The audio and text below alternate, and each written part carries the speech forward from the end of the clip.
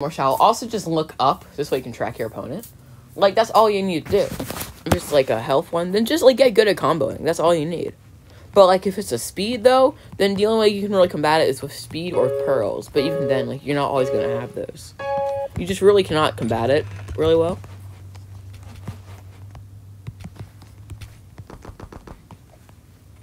Not too concerned on them attacking me.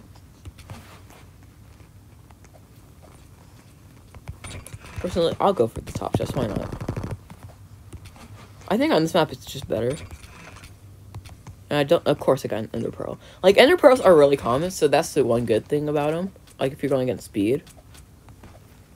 Waha! But, like, also just in general. They're like, it's like still, like, it's just not the most known, like, to get item.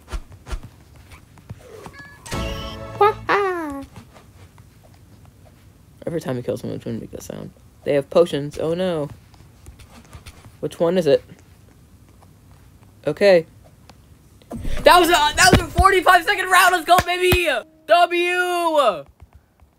No, I, I, no. Get rid of the E. W, baby. Let's go.